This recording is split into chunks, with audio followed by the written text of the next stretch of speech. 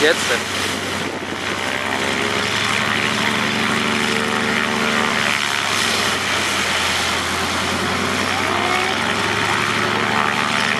So blöd, der Papi ist genau im Schatten, du siehst sein Gesicht nicht.